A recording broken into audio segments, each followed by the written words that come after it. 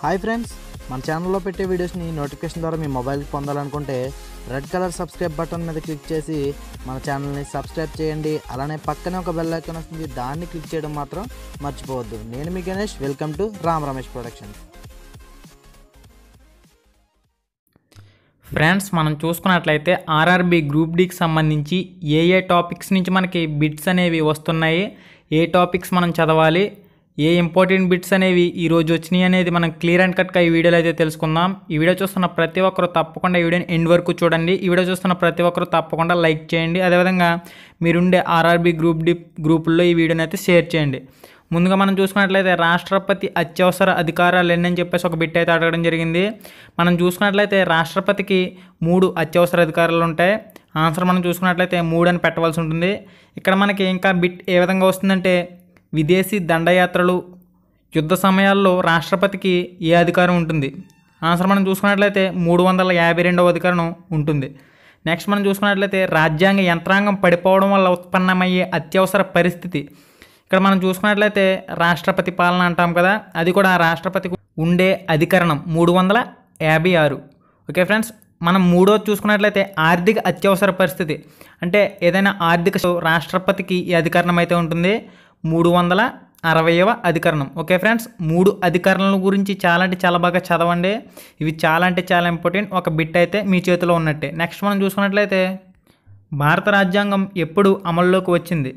Okay friends answer మనం చూసుకున్నట్లయితే పంతొమ్మిది వందల యాభై జనవరి ఇరవై ఆరు.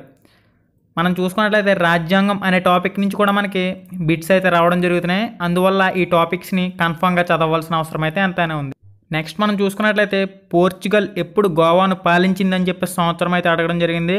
పంతొమ్మిది వందల అరవై ఒకటవ సంవత్సరం. నెక్స్ట్ మనం చూసుకున్నట్లయితే పేటిఎం స్థాపకుడు ఎవరని చెప్పేసి బిట్ అయితే రావడం జరిగింది. Vijay Shekhar Sharma. Okay friends Paytm ఇటువంటి వెబ్సైట్ల గురించి కూడా బిట్స్ అయితే రావడం జరుగుతున్నాయి. అందువల్ల ఈ టాపిక్స్ని కూడా చదవాల్సిన అవసరం అయితే ఉంది. పగ్లీడియా డ్యామ్ ప్రాజెక్ట్ ఏ రాష్ట్రంలో ఉందని చెప్పేసి ఒక బిట్ అయితే రావడం జరిగింది. ఆన్సర్ మనం చూసుకున్నట్లయితే అస్సాం బ్రహ్మపుత్ర నది. ఓకే ఫ్రెండ్స్ నాకు తెలిసిన బిట్లకైతే ఆన్సర్ నేను అటెంప్ట్ చేశాను. కొన్ని బిట్లకైతే ఆన్సర్ తెలియలేదు. అవి మీరు ఒకసారి చెక్ చేయండి. నెక్స్ట్ మనం చూసుకున్నట్లయితే జలియాన్ వాలాబాగ్ గోలీకాండ్ జరిగింది కదా. దానికి సంబంధించి ఏ సంవత్సరంలో జరిగిందని చెప్పేసి అడగడం జరిగింది. మనం చూసుకున్నట్లయితే పంతొమ్మిది వందల పంతొమ్మిది. ఇది మనకి టెన్త్ క్లాస్ టెక్స్ట్ బుక్లో కూడా లెసన్ అయితే ఉంది. నెక్స్ట్ మనం చూసుకున్నట్లయితే నీటి యొక్క పీహెచ్ విలువ అదేవిధంగా ఉప్పు యొక్క పీహెచ్ విలువ. ఈ విధంగా ఒక పీహెచ్ విలువ గురించి ఒక బిట్ అయితే ఈరోజు కూడా రావడం జరిగింది. అందువల్ల ఈ పీహెచ్ విలువ అనే టాపిక్ని క్లియర్ అండ్ కట్గా చదవండి. ఒక మార్క్ అయితే మీ దగ్గర ఉన్నట్టే. నెక్స్ట్ మనం చూసుకున్నట్లయితే గోవర్ధన్ గ్రామం ఏ రాష్ట్రంలో ఉందని చెప్పేసి ఒక బిట్ అయితే అడగడం జరిగింది. ఆన్సర్ మనం చూసుకున్నట్లయితే ఉత్తరప్రదేశ్. ఓకే ఫ్రెండ్స్ నెక్స్ట్ మనం చూసుకున్నట్లయితే పద్మశ్రీ గ్రహించిన మహిళ ఎవరని చెప్పేసి ఒక బిట్ అయితే అడగడం జరిగింది. పద్మశ్రీ రెండు వేల పదిహేడులో స్పోర్ట్స్ మహిళ అని చెప్పేసి ఒక బిట్ అయితే ఉంది. ఆన్సర్ మనం చూసుకున్నట్లయితే సాక్షి మాలిక్. ఫ్రెండ్స్ నెక్స్ట్ మనం చూసుకున్నట్లయితే బ్లే ఎడారి ఏ దేశానికి చెందిందని చెప్పేసి ఒక బిట్ అయితే రావడం జరిగింది. ఆన్సర్ మనం చూసుకున్నట్లయితే పోర్చుగల్. ఓకే ఫ్రెండ్స్ ఇక్కడ మీరు చూసుకోవాల్సిన కరెంట్ అఫైర్స్కి సంబంధించి రెండు వేల పదిహేడు రెండు వేల పదహారుకి సంబంధించి కూడా కరెంట్ అఫైర్స్ అయితే మనకి అడగడం జరుగుతుంది. అందువల్ల ఈ టాపిక్స్ని అయితే ఫోకస్ చేయండి. నెక్స్ట్ మనం చూసుకున్నట్లయితే రెండు వేల పద్దెనిమిది ఐఐఎఫ్ఏ అవార్డులో ఉత్తమ నటి ఎవరని చెప్పేసి ఒక బిట్ అయితే అడగడం జరిగింది. ఆన్సర్ మనం చూసుకున్నట్లయితే శ్రీదేవి. ఓకే ఫ్రెండ్స్ ఇక్కడ మనం చూసుకున్నట్లయితే సినిమాకి సంబంధించి ఏదో ఒక బిట్ అయితే ఇప్పటి వరకు జరిగిన అన్ని సెక్షన్లలో కూడా రావడం జరిగినాయి. నెక్స్ట్ మనం చూసుకున్నట్లయితే ఈ బిట్ని ఈ విధంగా కూడా అడిగే ఛాన్స్ అయితే ఉంది. రెండు వేల పదిహేడులో ఎవరికి వచ్చింది అవార్డు అని చెప్పేసి అడిగినట్లయితే మనం ఆలియా బాత్. ఓకే ఫ్రెండ్స్ సినిమాకి సంబంధించి ఈ టాపిక్స్ని అయితే కొద్దిగా ఫోకస్ చేయండి. నెక్స్ట్ మనం చూసుకున్నట్లయితే నీతి ఆయోగ్ చైర్మన్ ఎవరని చెప్పేసి బిట్ అయితే రావడం జరిగింది. ఆన్సర్ మనం చూసుకున్నట్లయితే నరేంద్ర మోదీ.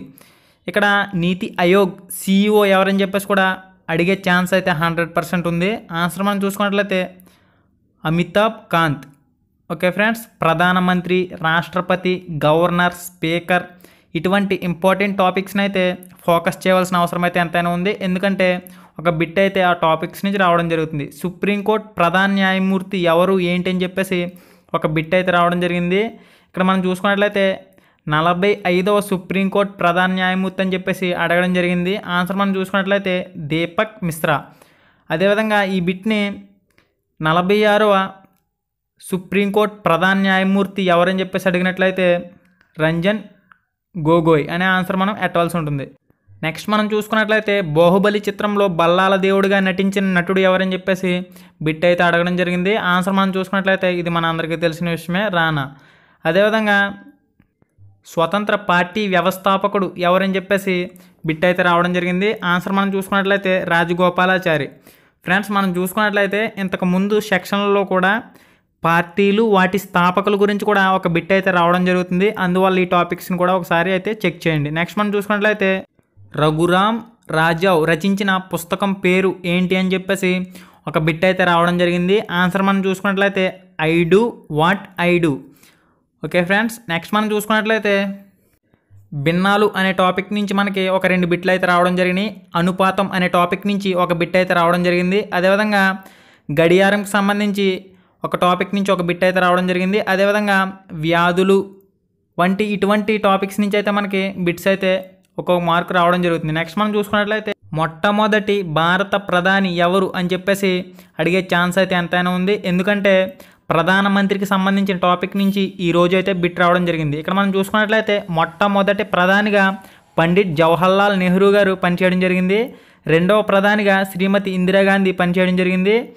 మూడో ప్రధానిగా రాజీవ్ గాంధీ పనిచేయడం జరిగింది. ఓకే ఫ్రెండ్స్ ప్రస్తుత ప్రధానిగా ఎవరు పనిచేస్తున్నారో మనందరికీ తెలిసిన విషయమే.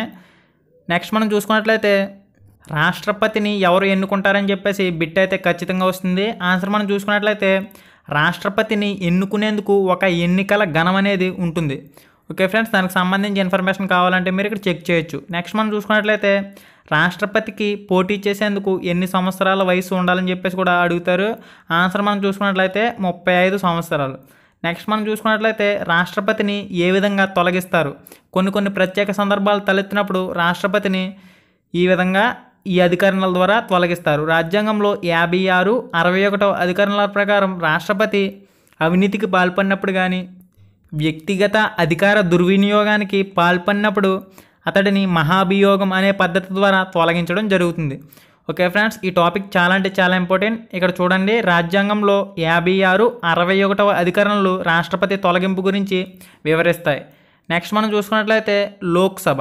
ఈ లోక్సభకు సంబంధించిన టాపిక్ కూడా చాలా అంటే చాలా ఇంపార్టెంట్. ఇక్కడ మనం మెయిన్గా చూసుకున్నట్లయితే లోక్సభ మొట్టమొదటి స్పీకర్ ఎవరని చెప్పేసి అడిగే ఛాన్స్ అయితే ఎంతైనా ఉంది.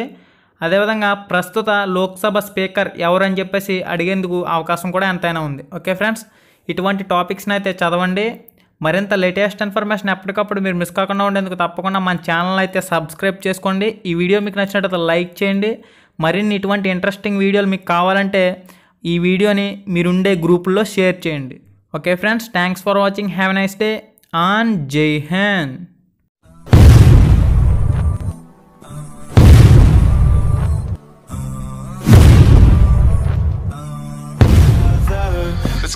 In the crossfire.